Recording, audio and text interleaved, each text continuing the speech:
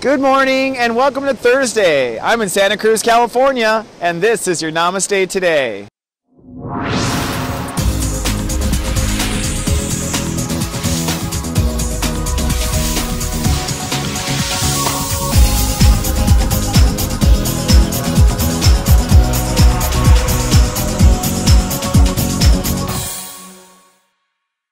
Good morning and namaste, and welcome to Namaste Today in the Zodiac Weather. My name is Christopher Witecki. I am the Sensei to Sirius Joy, here to stand in my heart and walk in the light. Such a pleasure to see you again, my friend. I'm love casting live in five dimensions from Santa Cruz, California, on the beautiful Temple of Gaia on Thursday, June 25th, 2015. Boy, where did June go? And today we're at step three of the Cancer vibration. So in the third step of our emotions. And today I would kind of uh, describe the day as I feel opportunity. So today I feel opportunity. That is ultimately, I think, how every earthling is going to conclude the day that I feel opportunity. Now we got to get you to that opportunity, my friend. That means we got to get you out of the old feelings and want to get you onto the new. So today, in your personal sensei, I'm happy to introduce something I call conscious cooking. All right, and it's not actual cooking; it's the cooking of our own consciousness. As in, what are you cooking up over there, Witecki? you know what I mean? Like, whoa, conscious cooking. And then in your zodiac weather, I'm going to prescribe and describe that we have a tug of war going on between two sides of ourselves, and I'll prescribe which side I believe you should choose based on what your zodiac sign is. So keep streaming for your zodiac horoscope later on the second half. But first, let's move on to today's conscious cooking in your personal sensei.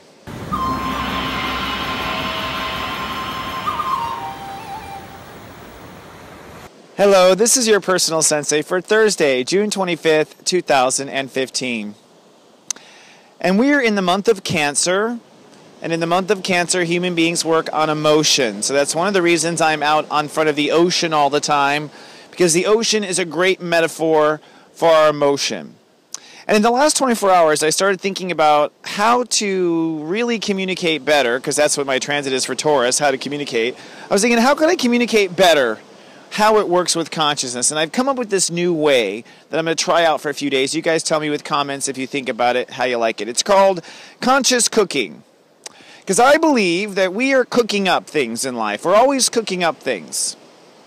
And the month that we're in, as an astrologer, I can tell you what we're cooking up this month. But you need to know you're cooking this. You need to know you add the ingredients. You need to know you're the one that either boils it over or doesn't cook it up enough. Okay? Like and so this is why I think conscious cooking is the way to go with how we're going to work. So this month the sun is in Cancer, and because the sun is in Cancer, which is a water sign, that means we are cooking a soup. All right? I think whenever it's a water sign, we're cooking some sort of soup, right? It's a water sign. So we're cooking a soup this month and the broth, of course, is our emotions. So the way to think about this is this month you are cooking up your emotions. You're cooking them up to a new thing, a new soup, something that you want to taste that tastes better. And the broth is all of your emotions right now. So we use your emotions as broth.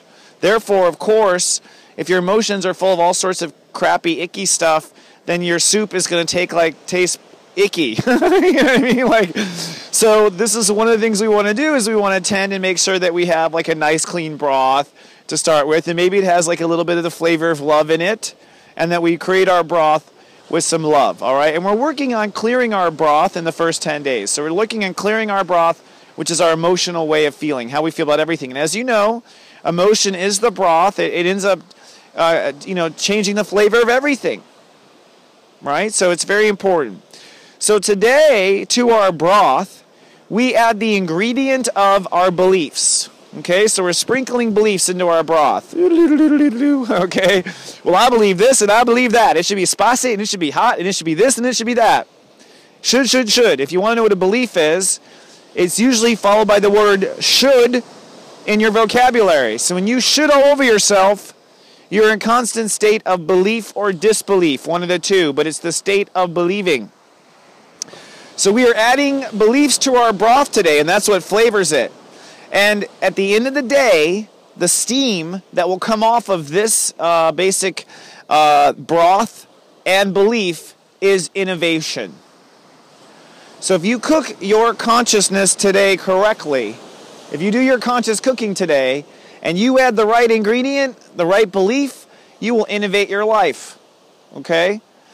Otherwise, it's not going to actually have any good smell or flavor, right? It's not going to steam. And that's basically what we're mixing today.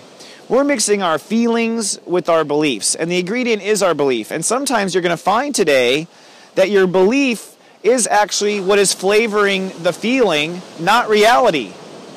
It's that you're you've thrown the belief that you should always be skinny into that pot. You've thrown the belief that you should be rich in order to be happy. Remember, a should is belief. I should be rich. I should be this. I should, should, should. Oh, that's all the beliefs in your pot there.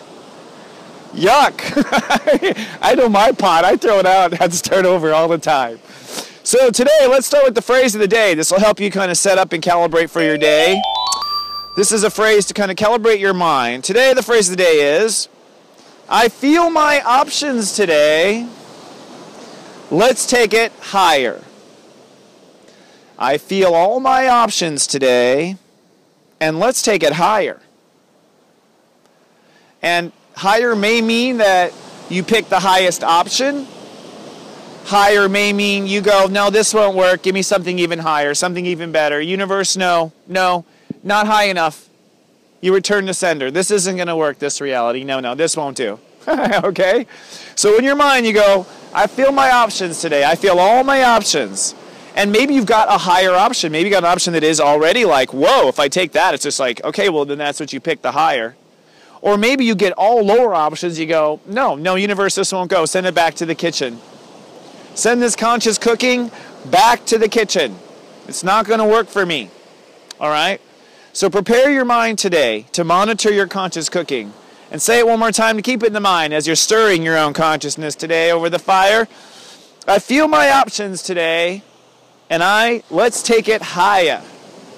And so it is. Because I said so, I thought so. so moving on now, um, I'm going to move on to a new thing within these little senseis to kind of keep it structured, like I said yesterday. So we have, of course, uh, our phrase of the day, and we have our conscious cooking, and I'm going to give you every day a soul assignment. This soul assignment is something for you to do inside of yourself in the day, and if you complete your soul assignment, I believe you will progress to the next step. So we're going to bring all of our grasshoppers up day by day, step by step, five days a week. So today, your soul assignment, if you choose to play along with all of us, is to discover three areas of your life where you feel one way and you can take it higher. All right? And this can be a wish, it doesn't mean it came about today. Three times. Now, three is a reason. There's three makes a charm. Three is enough for your whole consciousness to get it. Three is enough for your whole consciousness to move forward. There are three dimensions. All right, mind, body, and spirit, not left, right, and up. okay? But nonetheless, we want to take it higher. So today, somewhere on your day, notice that you feel something and you're like, you know what would be higher? What would be higher is if a UFO landed and flew me to work. Hey, that counts. You took it higher. Creativity, imagination totally counts if you can't think of a way out. And do that three times. Three times where you imagine where you can take it higher and what would take you higher. And just imagine that three times today. That's your sole assignment. Now let's all uh, meditate today on well, what to meditate on as you are doing your soul assignment is noticing the beliefs. Are you shooting yourself? Are you telling you you should do something, you should do that? When you want to take it higher, do you go, oh, but we should be humble? Oh, but we should this? So meditate today on where you should all over yourself. Okay? Meditate on where you're shooting yourself and notice where you should yourself. Because that's up for debate, especially with Saturn in Sagittarius if you watch the cosmic clock. So watch and meditate on where you should yourself. And that brings me to the final point of today's personal sensei, your joy quest. Your joy quest, should you choose to accept it, my friend, is to find the magical door. Find the magical door. In your life, there is a magical doorway out. It's very likely that that magical doorway is up and higher from what you normally know right now it's highly likely that the steam that comes off of your conscious cooking today is a magical door. Magical door is once I walked in, once I met him, once I met her, once I was in this place, once I found Soul Garden. Seriously, I've been magical doors to people. Then everything changed. It was a magical door. So your joy question, you choose to accept it, is to find that magical door. And it may be in one of the three times in your soul assignment that you, in fact, take it higher. And so it is. Now, Personal Sensei would not be personal without my Personal Sensei service. That's an accompanying text message service that's run by AIT, Artificial Intuition Technology, and written by me every night and programmed into the system. And today, if you're watched over by my personal sensei service, at 11 a.m., I'm going to send you a text in your local time that talks about where you need to open your beliefs today. So, where you need to open up today. That's your sensei monitoring your astrology information and saying where to go. At 3 p.m., I will send you a text your local time about where you tend to close down in life. So, I'm going to say you tend to close down here.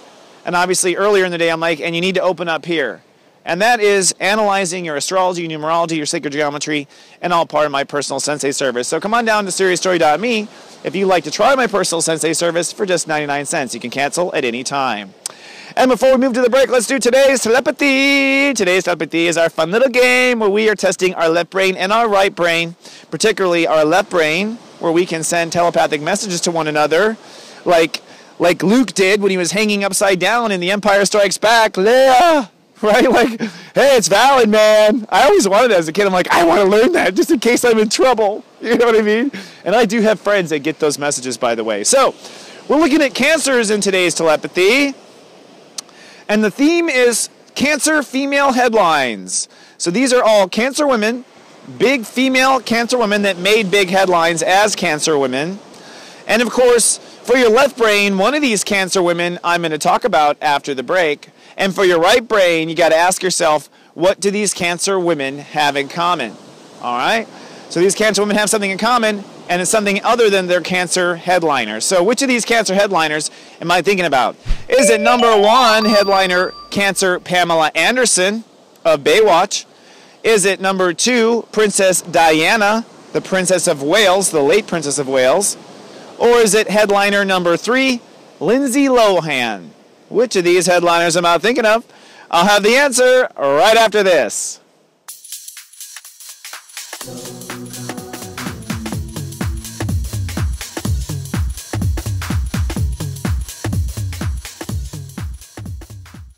Why can't you find love? How long have you really been single? Really? Having trouble finding that special soulmate? I can solve this one. Secrets of Birthdays, now live for purchase. Your love trouble? Over. All that and more at secretsofbirthdays.com. And we're back to Namaste today. I must say, Santa Cruz Energy is fantastic. Northern California is very fantastic. But you know what, folks? Mother Earth is fantastic. The Temple of Gaia is fantastic. And you know, I used to preach but didn't practice. Now I am out in nature every day, and I have to say, it really helps my soul. I encourage you to get out and enjoy, especially if the weather is nice. Get out there and just feel it let God envelope around you and let yourself be taken by nature, which is truly harmless to your situation. Right? Nature is wonderful. So, moving on to today's telepathy, I'm thinking of headliner cancer women. One of these cancer women, of course, I have a little extra information on that you might be interested in. But which of these cancer women was I thinking of? Was it number one, Pamela Anderson? Number two, Princess Diana? Or number three, Lindsay Lohan? And the answer is Princess Diana, of course, who incidentally was born July 1st, 1961, and Princess Diana was a step 9 cancer. Now, step 9 means taking action, so this was a woman who took actions on how she felt.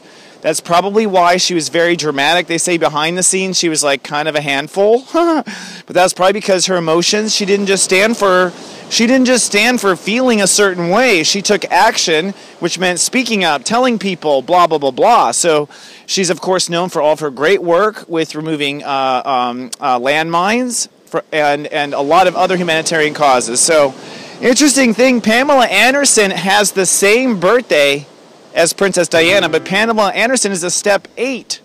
So she was one that needed to make good decisions in life. That's what her uh, lesson is as a step eight. And Lindsay Lohan actually trumps both of these girls as a step 10. In fact, it goes Pamela's an 8, Princess Diana's a 9, and Lindsay Lohan is a 10. Isn't that interesting? Now you might go, but Lindsay Lohan, she was like the biggest mess out of the three, right? Well, that's the thing. Step 10 is I manifest. So Lindsay can manifest like by closing, you know, blinking. She just manifests automatically. It's something her soul already knew before she was born, and she's good at manifesting. She's a step 10. So she can manifest drama, she can manifest film career, she can just keep manifesting as soon as she focuses her emotions on it. Now, the interesting thing is, uh, what did these three ladies have in common, even though I was telepathically sending you Princess Diana?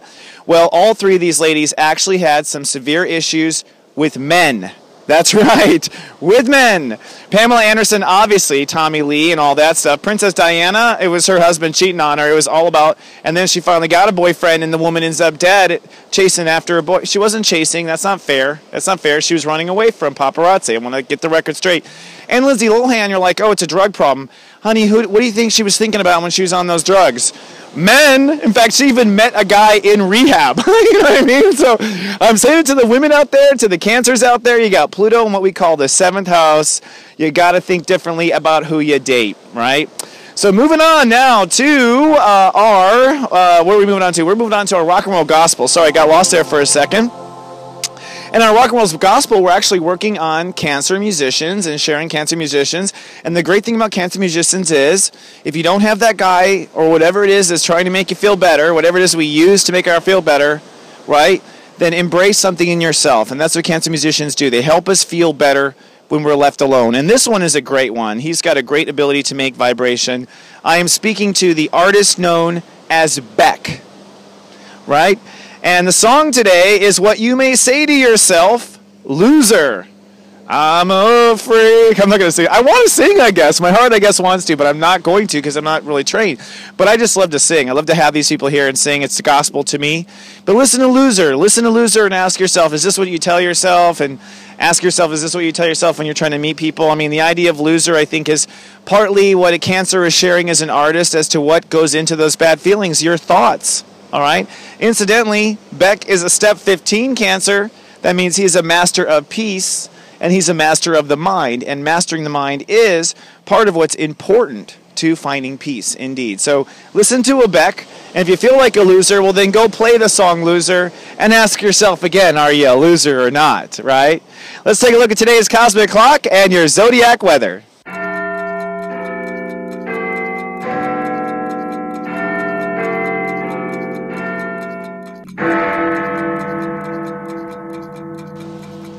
Looking at the cosmic clock, there are three things I want to point out. Step three rules a day, and Mars is still conjuncting the Sun, which gives us a lot of anxiety, but we're still looking for our strength and still looking for how to move forward. So it's not quite there. It's anxiety without results with this combination. Venus is saying it's time to decide what passion you want. Venus is now beginning to conjunct heavily Jupiter at step 20. So today we have to decide what our heart wants and what kind of passion our heart wants. And then lastly, the moon in Libra today is opposing Uranus. This is a teeter totter and a back and forth. It's a new you versus old feelings. The new you is actually Uranus and Aries. The old feelings will be what you have because we're in Cancer and we're dealing with old feelings right now. So in your zodiac weather, I'll be telling you just exactly what to do and how to choose one or the other. But before you go off and listen to being a loser like Beck, let's first take a look at the moods of each of your brothers and sisters today. And a special soul vitamin. There's a huge crash wave there, so I got a little like, ooh, but I'm not stopping. And your soul vitamin today is sponsored by the moon opposing Uranus. This is a teeter totter going on, as I pointed out in the cosmic clock. This is the new you versus old feelings. So for each of the 12 zodiac signs, I will tell you what the new you is and what the old feelings are, and we'll do it in the order of the 11 steps to Sirius Joy, starting with the private and the hidden step, the step zero, Scorpios. Scorpios, cloudy with a chance of storms today, kind of like this sea behind me. But you are in a tug of war between the new you when it comes to the life you're living and the old you, which is the karma. So step into the new life, step out of the karma, the old patterns. Step one, the Leos, cloudy with a chance of mind games today. It's time to live by your new beliefs. That's the new you. And step out of your old mind games. That's the old you. Step two, the cancers. Cloudy with a chance of anxiety, particularly today. It's time to step into the new you, which is future and career. And it's time to step out of the old you, which is the old family dynamics. Indeed. Step three, the Sagittarius is sunny and social today out there on the planet. The new you is what you love and what you want to create, so step into that. The old you is the social expectations that you thought you had to be for everyone else. So step into the new you, the love, and the creative. Step four, the Aquarians. Cloudy, rather pensive today. The new you is a fresh way of thinking, perhaps a genius way of thinking. The old you is tradition or the way you have reacted so you had your freedom. Step five, the uh, Gemini, sunny and heartfelt today. Time to step in the new you, which is how you feel you belong to a new sector of society, new friends, or new neighborhood, versus the old you, where your heart was broken in the old places and left behind. Step six, the Librans, sunny and cool with the moon in their sign. Time to step into the new you, which is that you mirror yourself before you marry others, right? Mirror yourself. Versus the old you, which is a dodgy ego that wouldn't commit to anything because you weren't committed to yourself. Whoa, that was true. Step seven, the Pisces. Cloudy with a chance of anxiety today. Time to step into the new you, which is a new sense of what's valuable on earth. I mean, really valuable. And out of the old you, which is betrayals. Those could be betrayals that happened to you or that you caused. Step eight, the Capricorns. Sunny and professional today. It's time to step into new you, which is a emotional self-nurturing that leads to security, versus an old you, which relies on career for your security. Step nine, the Aries, cloudy with a chance of some love issues on the horizon. That's because it's time to step into the new you, which is whatever your heart really wants to be, versus the old you, which is you being what relationships told you to be. So being what you want versus what relationships told you. Step 10, the Taurus is cloudy and hyper aware of your body and reality. Taurus, it's time to stand in the new faith, in the new higher faith, versus getting caught in the old life or the old routines. And then finally, the Virgos, the step 11s, cloudy, rather productive today in their daily life. It's time to step into the new trusting yourself instead of the old values or the old systems that you were trying to win all the time. And then moves on to our Light Walker parade. Hey, folks, so many things I want to say. One, if you're watching on YouTube, please be kind and do subscribe. It helps us with our relationship with them. And on Facebook, you can be my friend by coming down to soulgarden.me. It'll light link you right there directly. And on Twitter, you can follow me by following at Siwateki. You can see how it's spelled right here. And of course, come to soulmart.me where you'll find a variety of my readings, secrets of birthdays, and other things that I manifest in order to help you manifest your reality. In particular, my Sirius Joy Personal Sensei service, which you can start for just 99 cents and cancel at any time. Check this out. Check out what it's like to have me there text messaging you. It's pretty uncanny, and the service is getting it even better as we upload a new version here. And I'd like to invite you one more time to check out 100 Days of Summer with John Edward. This is a free daily life coaching kind of video segment, uh, segmentized uh, TV that helps you day by day. It's totally free, and you might give it a try. Open up, like I said, to new things. When you're out there in your day, my friend, remember, find that magical door. Remember, find the magical door. Remember, one of those doors is in my heart to your heart. I love you and I appreciate you so much. I'll see you in 24 hours with more, my friend. Until then, live, love, be. this is just so ironic.